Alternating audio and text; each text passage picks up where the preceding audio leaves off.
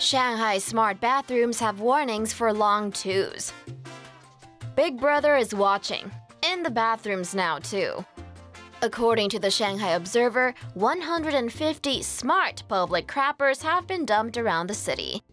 They come with a whole bunch of bells and whistles you probably don't need in a public restroom, but what the hell? When you walk up to the entrance, a large screen shows which stalls are being destroyed and which are empty. But you probably won't look at that, which is why they also have LED signs above each stall that light up red when in use and green when not in use.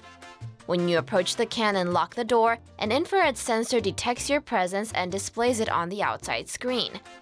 The funniest feature is that these bathrooms actually keep track of how long you're in the stall.